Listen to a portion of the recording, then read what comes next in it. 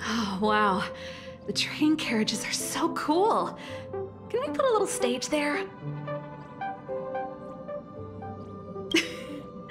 I'm only kidding.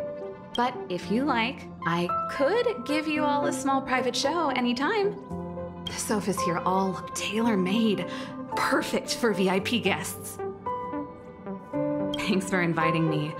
I've got my hands full right now, but I'm looking forward to the express tour.